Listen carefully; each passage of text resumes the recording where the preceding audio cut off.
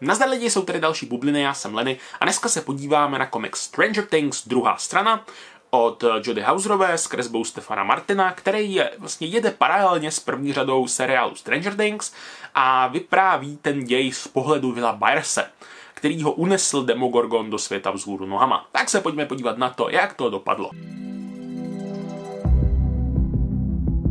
OK, na začátek jedna důležitá věc. Pokud netušíte, co to jsou Stranger Things, ten seriál jste neviděli, tak ten komiks vůbec není pro vás a nemáte šanci pochopit, co se v něm děje.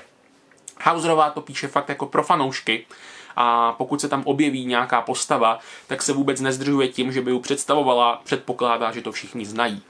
Uh, já jsem Stranger Things viděl, ten seriál se mi líbil, ale když jsem jako dokoukal tu první řadu, tak jsem neměl pocit, že by mě něco chybělo. Neměl jsem rozhodně pocit, že by tam byly nějaký bílý místa a že bych si k tomu potřeboval něco načíst. A tak jsem jako ke komiksu Stranger Things přistupoval docela skepticky eh, a bál jsem se toho, že to bude taková jako výplňovka, že to bude snaha vytřískat z fanoušků co nejvíc peněz.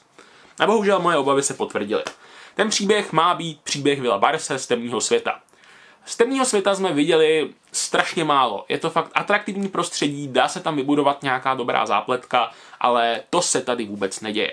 Ten komiks jede fakt jako paralelně s tím seriálem, eh, jenom z pohledu Vila a tak vlastně vidíte všechny ty věci, co se děly v seriálu, akorát z té druhé strany. Jo? Jak je kluk eh, v baráku na druhé straně a snaží se komunikovat s rodinou. Takže jak se snaží zavolat mámě vysílačkou, jak se snaží spojit s bráchou přes rádio, jak pak komunikuje těma světýlkama a vlastně se tady řeší to, co vy už znáte. Jo, já fakt jako nevidím jediný důvod, proč bych měl tohle číst, protože to tomu příběhu nepřidává vůbec nic nového. My víme, že se nějak jako Will dokázal spojit s maminkou a scéna, kde jako on sedí eh, pod stolem a vedle blikají světla, je fakt jako ultimátně o ničem.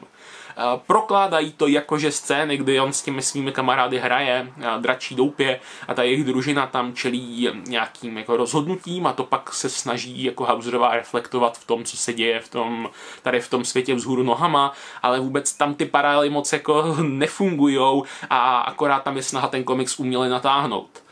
Občas se tam objeví Demogorgon a pak, pak by ten komiks mohl fungovat jako dobrý atmosférický horor, jo, kdy se malý kluk skrývá uh, před příšerou, jenže tohle to je zabitý dvěma věcma. Za prvé už jako v první scéně on vytáhne pistoli a toho Demogorgona jako rozstřílí a jakákoliv další snaha o nějaký survival jde do kytek.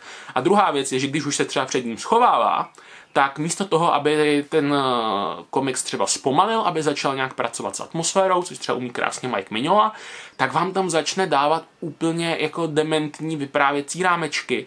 A ten děj, eh, nebo ro, strašně rozbije to tempo, jo, tam vyleze pod postel, jo, a rámeček vám tam říká, Ať už mohou pod jeho postelí číhat jakékoliv nestvůry, jednou věcí si je jistý. Musí být menší než ta, která ho pronásleduje čeká na úder, který nikdy nedopadne. Ať už chce ta stvůra v tuto chvíli cokoliv, není to chlapec pod postelí. Jo, jsou to fakt jako texty o ničem. Je tam hromada scén, které jsou strašně o ničem. Jo, tam třeba Will vyjde na ulici uh, a dojde k bazénu, kde umřela ta holka, najde tam její brýle a střih jede se dál. Ta scéna absolutně nemá pro ten příběh žádnou roli, on tam nějak nereflektuje její úmrtí, prostě ta scéna tam je jenom proto, že se to vstalo v seriálu. Dobrý, odfajfnem si, že jsme splnili tohle. Ten komiks je ultimátní zbytečnost. Fakt nic takhle zbytečného jsem dlouho nečetl, opravdu vám to nedoporučuju a není to dobrý. I když jste skalní fanoušci, tak vám to podle mě vůbec nic navíc nedá. Kresba Stefana Martina je relativně OK, je to taková jako tuctovka, která funguje, jsou tam takový, jako Will Byers vypadá jako byl ze seriálu, takže tuhle tu roli to plní. Z Demogorgona moc hrůzy nejde, eh, spíš než tu potvoru vidíte Vila, který se kde si skrývá. A celkově ten komiks ale je udělaný tak jako strašně zas konzervativně, používá obdélníky, používá klasický čtverce, nějak se nesnaží o invence. Prostě, hele, děláme Stranger Things, potřebujeme z toho vyrýšovat prachy, tak co bychom se snažili. Jo, jako je, je to řemeslo, který je OK udělaný, ale nesnaží se vůbec o nic navíc. No. Dejte vědět, jak se to líbilo vám, jestli to někdo skáče nadšením a je to pro něho komiks roku, tak si strašně rád poslechnu proč. Já se budu těšit zase u dalšího videa a komiksu zdar.